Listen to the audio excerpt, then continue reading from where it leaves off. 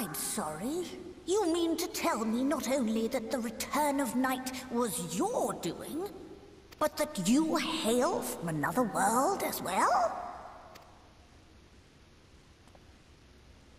Everything we told you, of the source, the shards, the seven umbral calamities, all of it is true. I realize how fantastical it sounds, and I would not blame you for doubting our testimony.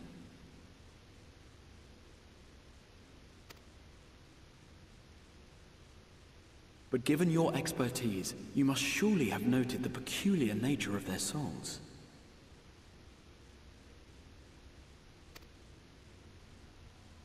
Any other time and I would have dismissed your stories as balderdash and flummery. But upon closer inspection, tis plain their souls are far denser than is normal, and that they do not possess true bodies.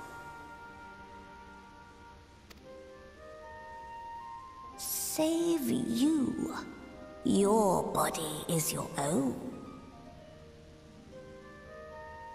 And your soul is the densest of them all.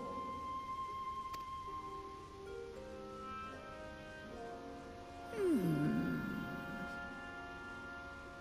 As I said before, were it not for their heroism, the skies over Norvrandt would still be awash with light, the realm yet at the mercy of Vauthry and the Sin Eaters.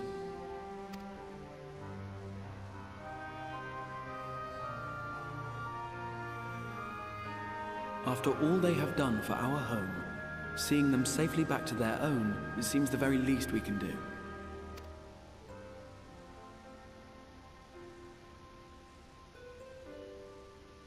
Hmm.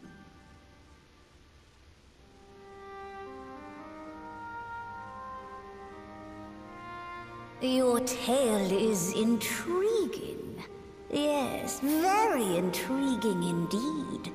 Simply to hear it is fitting payment in itself.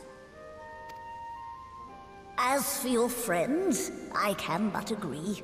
Their valorous deeds on behalf of Norvrandt are deserving of recognition, of their own fitting payment.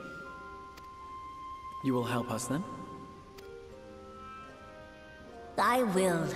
I would see my knowledge put to good use for a change. I do have one condition, however. I am not the spry young Nu Mou I once was.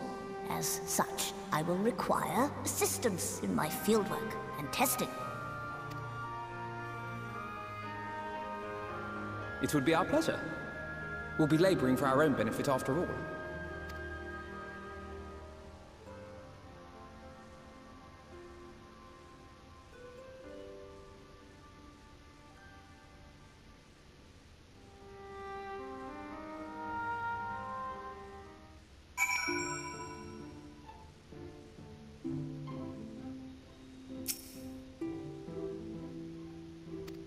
you